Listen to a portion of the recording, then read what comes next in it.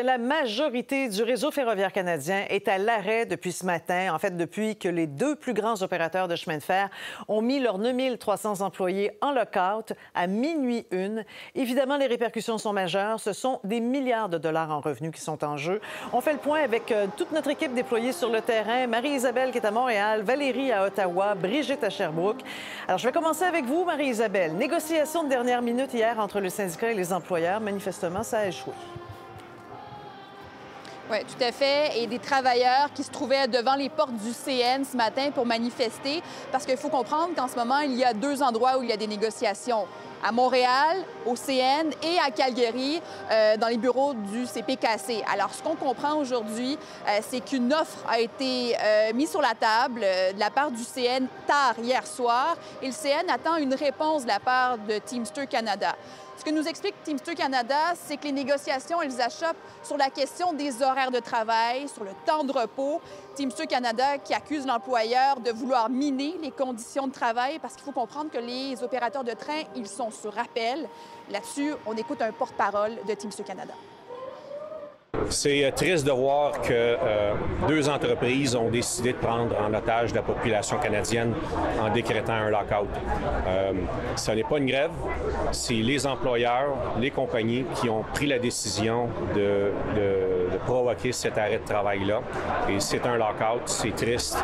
Et nous, on est prêts à retourner aux tables de négociation n'importe quand. Les employeurs ont une version bien différente, hein? Oui, parce qu'aujourd'hui, un porte-parole du CN qui nous a accordé une entrevue nous expliquait que la question des salaires, elle est vraiment au cœur des négociations euh, parce qu'il faut comprendre que le salaire des opérateurs de train, il est comptabilisé en mille. Euh, ça, c'est en, en, place depuis une centaine d'années et ce que voudrait l'employeur, c'est que le salaire soit calculé à l'heure pour une question de prévisibilité.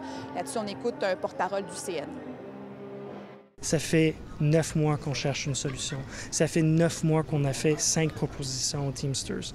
Des bonnes propositions. Rappelez-vous, ce ne sont pas des emplois au salaire minimum. Ce sont des emplois qui gagnent 120 000 par an pour les chefs de train, les conducteurs de train, et 150 000 par an pour les ingénieurs de locomotive. On a proposé des augmentations à ça entre 15 et 30% Actuellement, les Teamsters n'ont même pas répondu à l'offre qu'on leur a faite hier soir. CN qui ajoutait également aujourd'hui euh, que Teamster Canada a attendu très longtemps avant de proposer une offre jusqu'à la fin de semaine dernière. Alors aujourd'hui, je vous rappelle, euh, le CN attend une réponse de la part du syndicat euh, Teamster Canada. Merci Marie-Isabelle. Bon, maintenant, on va aller voir avec Valérie la pression qui augmente sur le gouvernement fédéral parce que c'est pas une grève qui va pouvoir durer longtemps parce qu'il y a trop de conséquences. Justin Trudeau a brièvement commenté la situation euh, ce matin alors qu'il était de passage à Sherbrooke. Il visitait une entreprise là-bas. Le premier ministre euh, a assuré que ses ministres sont à pied d'œuvre euh, et lui-même est impliqué personnellement pour tenter de trouver euh, une solution pour en arriver d'abord à une entente et puis aussi pour limiter les dégâts. Ces ministres sont effectivement très occupés aujourd'hui. Le ministre du Travail est, est, en, est, en, rencontre et ça, on nous dit toute la journée. En fait, son bureau nous a envoyé cette déclaration disant que le ministre McKinnon est en réunion toute la journée sur cette, cette situation extrêmement importante et suit l'affaire de près. Parmi les personnes avec qui il s'est entretenu, il y a son homologue américaine, Julie Sue, avec qui, évidemment, il a discuté euh, du secteur ferroviaire qui est tellement important dans les échanges économiques entre les deux pays. Il y a le ministre des Transports également, euh, Pablo Rodriguez, qui euh, est, aussi en mode gestion de crise. Il s'est aussi entretenu avec son homologue américain sur la question. Il a aussi parlé à des acteurs économiques pour tenter d'apaiser les craintes et il essaie de se faire rassurant. Le ministre Rodriguez, lui d'ailleurs, aujourd'hui, doit parler à l'ensemble de ses homologues provinciaux. Bref, on nous dit qu'on travaille actuellement à trouver une solution. On ne dit pas comment on compte s'y prendre ni quelle solution est privilégiée. On peut écouter le premier ministre. C'est sûr que c'est pas juste une compagnie, c'est l'économie au complet du Canada qui euh, est à risque, des travailleurs, des agriculteurs, euh, des petites entreprises. C'est pour ça qu'on est en train euh, de prendre ça tellement au sérieux. le ministre est là-dessus, je suis moi-même là-dessus. On va avoir plus à dire bientôt, mais sachez qu'on on est là pour travailler là-dessus.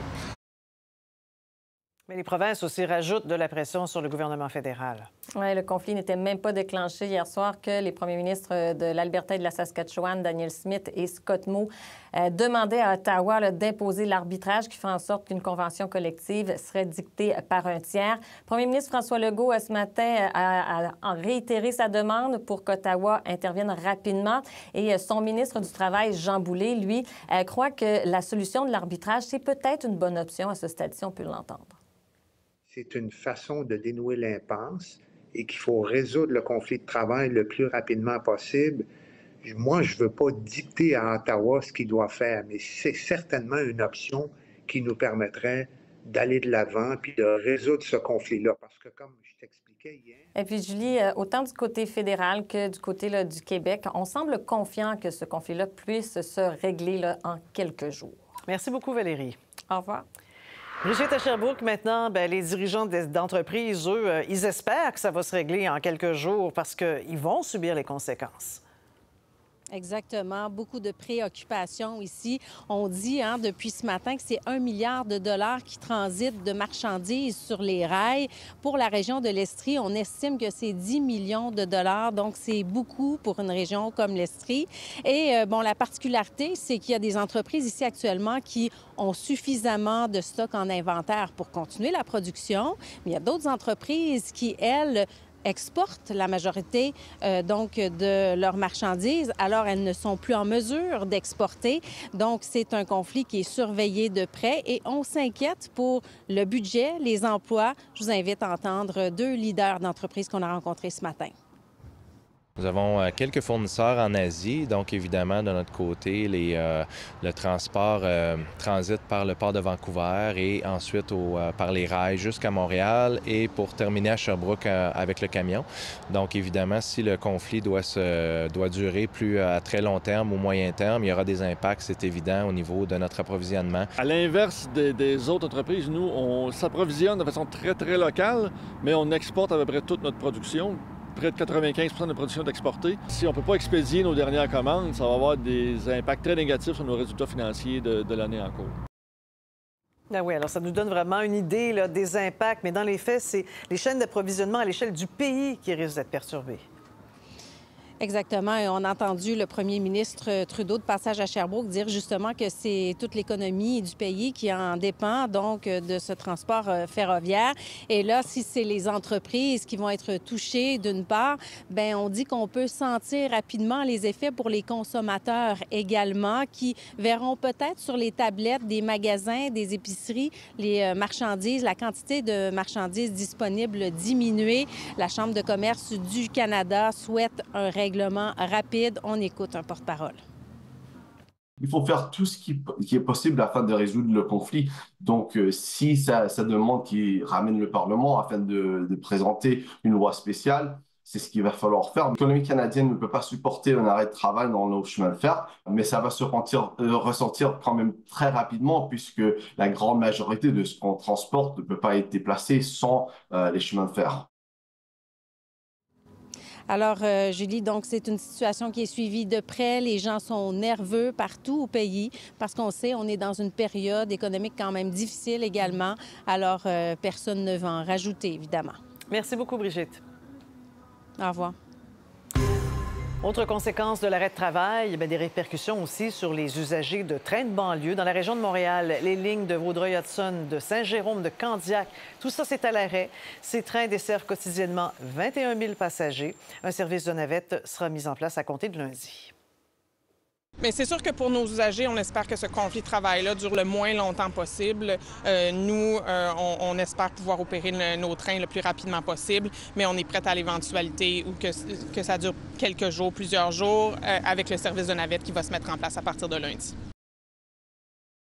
Et puis en Ontario, le premier ministre Doug Ford a publié un message sur les réseaux sociaux pour inviter les partis à retourner à la table de négociation.